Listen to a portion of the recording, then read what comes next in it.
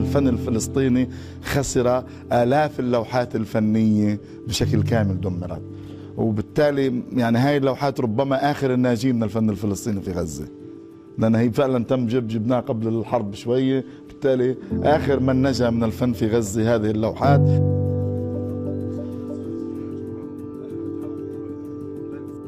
مني مرة إنه أنا أرسم. هاي الصورة. لإلها فقلت لها خلص أنا بوعدك أسوي لك سكتش إن شاء الله برسل لك إياه. تمام. ففي الحفل هذا تم إني فعلا إني أعرف الناس وهي عم تطلع علينا عم ترسم السكتش وعم أرسم قطاع غزة المدمر هلأ كخلفية من خلفها.